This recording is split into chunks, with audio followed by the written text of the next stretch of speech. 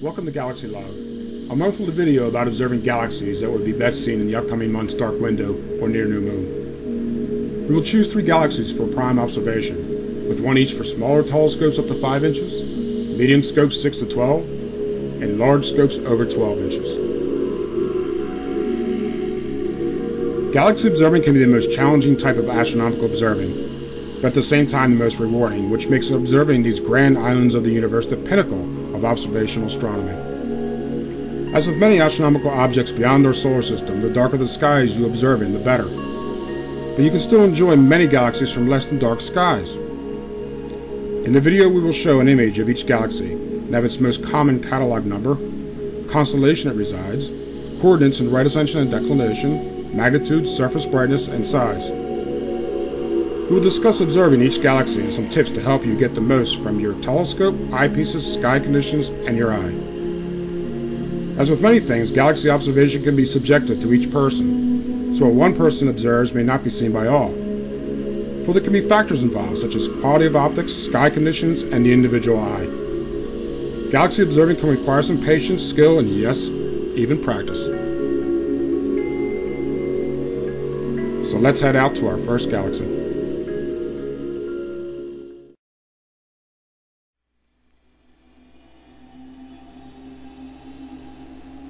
Our first galaxy for this month is the brightest galaxy in Pegasus, called NGC 7331. This large bright inclined spiral galaxy can be seen in most telescopes in less than dark skies. With a small scope in dark skies, the bright central region stands out very well, with the rest of the galaxy faded out north to south. In my 4-inch f10 refractor using a 20mm wide field eyepiece, the galaxy is bright and obvious in a nice large starry field. The best view came using a 9mm eyepiece, where the core area the galaxy shows is very elongated and bright. The outer regions of the galaxy, with careful observation, shows a bit more extended south of the core. The western side shows a sharp cutoff of the galaxy. Added observing note. As you can see in the image, four background galaxies known as NGC 7335, 7336, 7337, and NGC 7340. Using a larger scope will allow you to see these distant galaxies as well as more detail in NGC 7331. In my 8-inch refractor, all but NGC 7336 was seen from a decent dark side. In my 22-inch Dob, all four background galaxies are easily seen. I would also like to add that not too far from NGC 7331 and friends is Stephan's Quintet, but we'll visit them in a future Galaxy Log.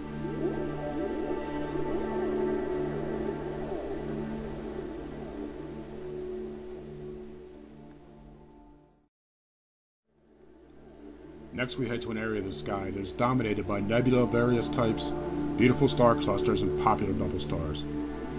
Within a couple degrees of the wondrous and spectacular Veil Nebula is a galaxy called NGC 7013, which may seem out of place in the constellation Cygnus, but nevertheless is an interesting galaxy. Using my 6-inch refractor from a decent dark site, the galaxy at low power showed as an elongated smudge next to a 10th magnitude star in a rich area of the Milky Way using an 8mm wide field eyepiece, which gave a magnification of 124, the galaxy showed a bright, large core area surrounded by a faint, elongated disk going northwest to southeast. A week later, while using my 8-inch refractor from a darker site, started bringing out some detail. Pushing the power to 327 showed more detail in the core area, with a small stellar nucleus and with moments of good seeing, a surrounding inner disk looking like a very faint ring, which is seen in the image. This is a hidden gem in an area where galaxies are, of course, not prominent.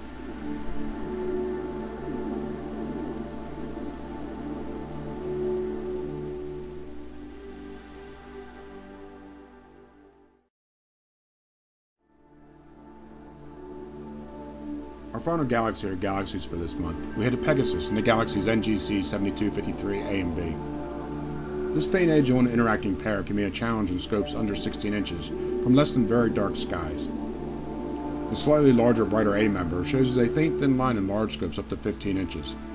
With the fainter, smaller B members, a tough catch till you get into the larger scopes of 16 inches or more. It's small and has a low surface brightness requiring good dark skies. On a recent night from a fair but not great dark site, two Chesmont members, with 22 inch and 25 inch Dobs viewed as faint but interesting pair. In the 25 inch Dob, both galaxies were fairly easily seen using a 5mm eyepiece, or a magnification of just over 500. NGC 7253A appears brighter than 7253B, with the galaxies intersecting at just over a 45 degree angle. During moments of good seeing, 7253b could be seen extending on both sides of the tip of 7253a. I'm sure this month in the very dark skies of West Virginia, NGC 7253A and B will be on a few more Chesmont members' observing list. Well, that's it for this month's Galaxy Log. Clear dark skies and happy galaxy observing.